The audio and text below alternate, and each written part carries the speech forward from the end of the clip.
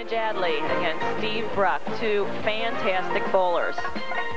So let's check it out.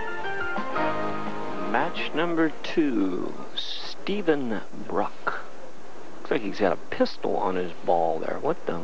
What kind of equipment is that, Jennifer? Is yeah, that a new I one? think it's a bandit, maybe? Yeah, that's a Well, let's no, let's not talk about what he does on his spare time. Let's, uh, you know, case there's a warrant out for him or Steve's anything. really got some heavy roll on it, so he's going to be throwing some strikes for sure.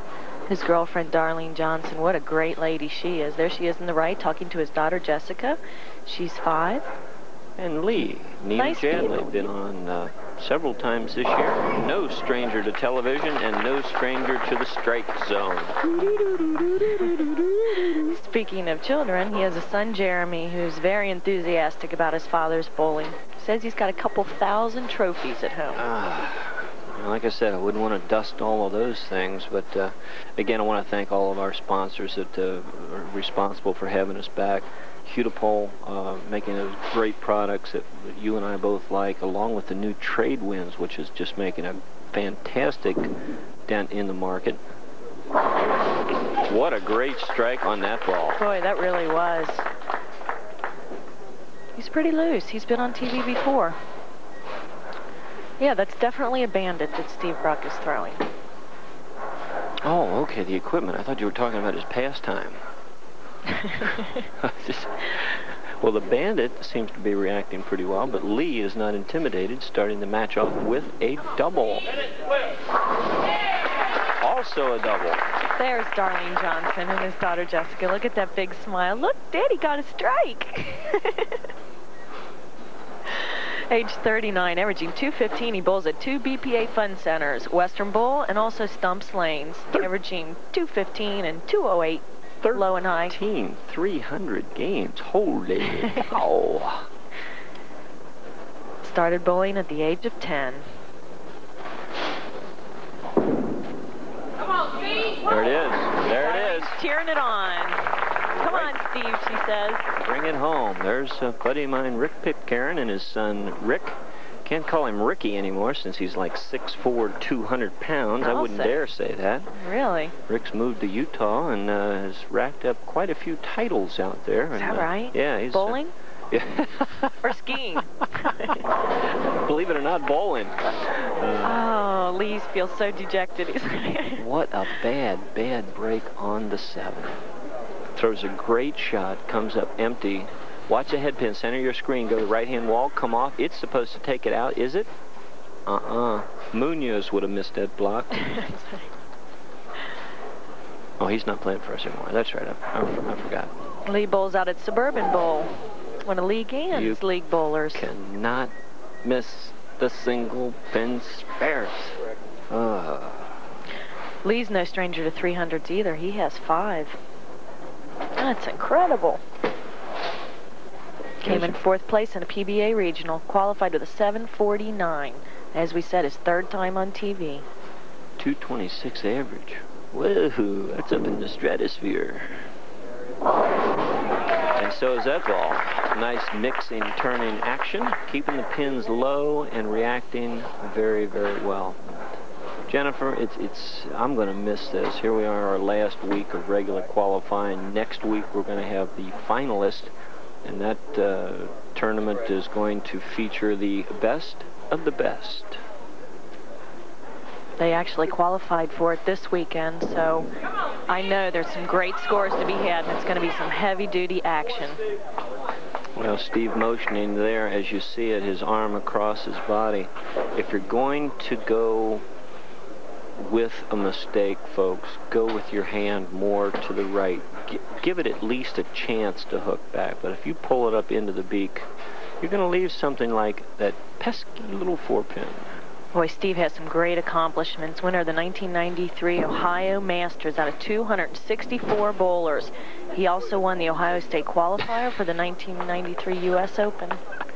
Yes, Steve, there is oil in the middle of the lane, and you found all of it. Oops. but bet, you know what though? I bet he doesn't do that again. And, and Jennifer, I don't know about your format in um, in uh, you know match play competition, but Mhm. if I've only got four balls, I'm still going to use one of them to go across lane Mhm. to test the oil for a spare. For sure. Wow. That was awesome. Awesome. Can't even begin to describe this shot. Five pin is going to be center your screen, second one back. Watch the ball as it enters the 1-3 pocket. Now keep your eyes on the ball. Second, now that ball right there, the one that hits, whacks out the seven, and a scout going across was the head pin. Nothing could have lived through that. Not even a cockroach. Not even. Oh, Not- he's going to get a scout of his own. Yes. Well, hey, Lee, we're, we're going to take those.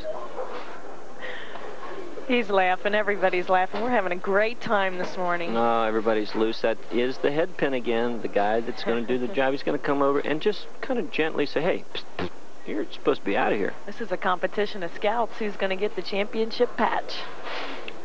Well, that was a very polite scout. it was. Bruck scout was very, was not subtle at all. Going high, leaving the quick eight, the six, ten. Should be an easy spare for Lee. Again, everybody checking out the action. Lee Gann, owner of Suburban Bowl, came out here this morning to check out the action, as he always does. What a great proprietor. He represents his Suburban Bowl and the BPA so well. It was quite uh, quite a drive for him too to be here. bet. I was joking with him when he came in this morning. I said uh, had to take a motel room to stay. We will be back, and you won't need a motel room at all because two and two. We'll see you. We're leaving the 8-10 and wisely taking the one pin because uh, this match is very close, and that one pin could make a big difference. I talked about Steve's titles. Boy, you can just add them all up. 1989 Hoikey Classic Mixed Doubles Champion. He says he shot 269 in the finals of the Ohio Masters to win by eight pins. How's that for a great finals in the Ohio Masters? That's that's uh, great finals, but it's no greater than our match here on King of Bowling. I think it was last week we had uh, for the kingship a couple of 260 games coming down to the wire, Jen. Yeah, we've just had some fantastic bowling and some real highlights this year. Let's see if we got a heel toe or a slider. More of a slide than a heel toe.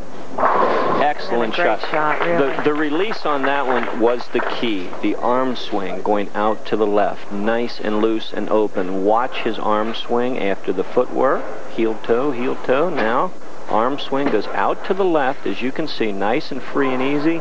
The result, 10 in the pit. Every pin doing its job. Lee married to Annette for 10 years. As I said, they have a son, Jeremy. What a doll. Seven years old. As I said, very enthusiastic about his father's bowling. There you Another go. scout, yes. he's boxing now. Let's go, let's go. Sure, he's pumped up. It's a tight match, Jennifer, and this is the type of bowling we're used to watching here on BPA King of Bowling every Sunday. Head pin, center your screen again, goes to the right-hand wall, comes off, and just hacksaws the seven out. I am really amazed how Lee is sending those pins left to right. Much better shot from the 810 before on lane 6, this time leaving a ring 10. If you want to see why a 10 pin is left, you can watch the second one from the right-hand side of your screen, the six pin. Now watch what it does. It goes around the 10, drops into the pit. Its assignment is to take the 10 pin out. Didn't do its job.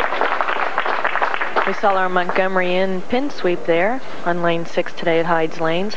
Down there the other night, I'm telling you, I had a great meal. Linnea was our waiter, waitress. Linnea? Linnea, was she funny and nice and gave us great service? I'm Well, you always- telling you. always get saw Mr. service. Gregory, introduced myself. He was Did- every he does- was does he everything everybody said. Does he wear that crown? No, Did- but he does- doesn't have to. It just follows him. It's sort of like a halo that goes around. Ted Gregory, what a great place and what a happening place it is. You see people and it's fun and Steve, great food. Steve. They're having fun. Check this out. Absolutely, absolutely, yeah. Yeah. What in the world? This is so great being on King of TV Bowling. You can knit and watch bowling too. Amazing. 20 pins, the difference. Lee looking good on this shot. And then This time no scout, huh? week seven, yes. Mike Sells, of course, providing the snacks week to week to week, and you can buy those snacks at your local grocers and at your uh, and your, most of your BPA fun centers around the city. Mike Sells, a great snack to have. And they don't just when- do potato chips. when you have to have a snack. popcorn. They do all all that good stuff. You oh, it's extensive the amount of stuff they have. What's what's that thing that, that uh, my kids brought home the other day? It's a popcorn Mm-hmm. the size of my fist almost. Have you seen that one? No, I haven't, but I will check it out. Unbelievable. My kids find more stuff on the shelves at the grocery store. They're worse than I am when they go. Mike Sells. Thank you so much for sponsoring us this year. Lee, Nienajadly, leads by 19 pins going into the 10th frame. It's not over yet. Let's see what happens. Wow, he sat down on that one. He, Wow. He said, get down on it. Yeah. Great shot. Says, come on, come on. One more, be there. Okay, great match so far. Lee, Nienajadly, bowled absolutely phenomenal. He needs one more strike to shut out Steve Bruck. And that is within his power. He could strike out for a 224. Steve has 155 in the eighth with a strike posted in the ninth. Indeed, he can shut him out right here. A- what? wow. You actually need a strike to win. You throw a career shot. And what do you have to show for it? A solid seven. Watch it here. From the left-hand side of your screen, the four pin, second one from the left. Watch it there. Go right around the belly of the seven. That was truly a bad break. Well, now we get to check out Steve Bruck. We know he's a pressure bowler. He's been there countless number of times. Jennifer, this is what everybody tunes in to see. Steve Bruck, a veteran of many, many years of BPA King of Bowling, needs three strikes in the 10th frame to win by one pin. Wow. Needs them all, or the party is over. Gotta have this one. It's in the area. Yes. Beautiful. He is so cool.